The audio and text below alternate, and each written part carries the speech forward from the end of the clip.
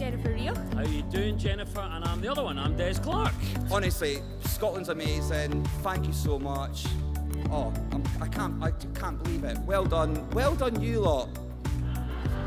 Observational documentary maker to make a film with Brian Cox. And thank you to David Harron, who is our exec producer. Thank you very much.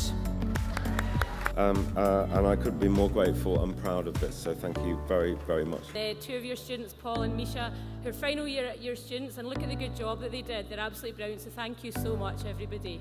So I'd just like to thank you all for this. It means a lot. Yeah, thank you very much. Um, so I've won the, the RTS uh, Scotland Award for Young Journalist uh, of the Year in memory of uh, George Sinclair. Completely overwhelmed, surprised and over the, over the moon. For me it was like a great experience because it was an idea that was really just a concept in my head. Yeah, I mean it's, it's just so great to be given recognition for something, for doing something that I genuinely love doing, as cliche as that sounds. I came into journalism um, a few years ago. I've been with STV News in Aberdeen for just over a year now, so it's a really nice thing to have to, to sort of show that I'm on the right track, as it were. So yeah, it really means a lot. As I say, I'm appreciate it a lot. It's important to recognise the talent that exists uh, in Scotland in, in television. Uh, sometimes we don't get the recognition uh, that is deserved and there is a lot of real talent here looking for an outlet. So uh, the more that we can recognise what people have achieved and celebrate it, that's an important fact as well, uh, then the better. It's celebrating what Scotland can produce.